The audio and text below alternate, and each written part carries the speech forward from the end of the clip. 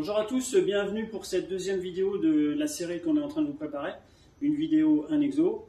Aujourd'hui, on vous fait découvrir une partie de la salle de musculation, pour ceux qui ne la connaissent pas. Et euh, donc aujourd'hui, Nicolas va vous faire travailler sur un exercice avec du matériel. Nicolas, toi?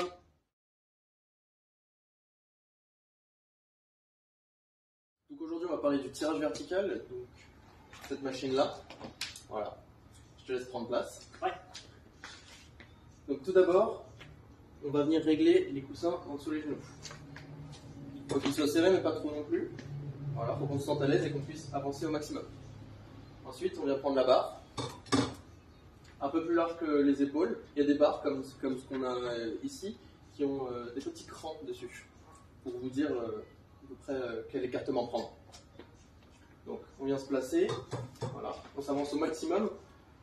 On a toujours les abdos engagés, on se recule légèrement, voilà. On serre les omoplates et on vient tirer la barre au niveau de la poitrine. Voilà, les, coudes toujours un petit peu vers l'avant. Pour la santé des épaules, c'est important d'avoir toujours les coudes vers l'avant. Voilà. Donc première variante, le tirage en biceps du coup. Donc comparé au premier exercice qui sollicite beaucoup plus les dorsaux, là on va commencer à solliciter un peu plus les biceps. Voilà. Exactement. Donc deuxième variante, en prise neutre. Voilà. Donc on va avoir un plus grand recrutement du grand dorsal. Aussi, l'homme est beaucoup plus fort sur cette prise. Donc on pourra soulever plus lourd. Donc une dernière variante, on prend une poignée simple cette fois-ci, et on vient faire un tirage à un bras.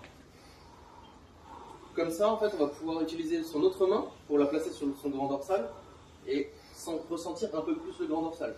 De plus, on va pouvoir tirer beaucoup plus bas, donc avoir une meilleure contraction.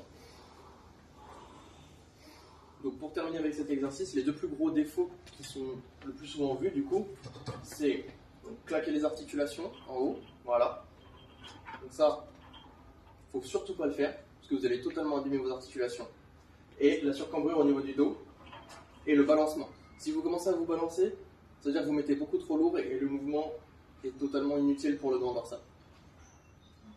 Ben voilà, c'est tout pour cette euh, petite vidéo, euh, une vidéo, un exo. Rendez-vous la semaine prochaine. On va essayer de vous faire une vidéo chaque semaine. La semaine prochaine, un autre exercice à découvrir. Salut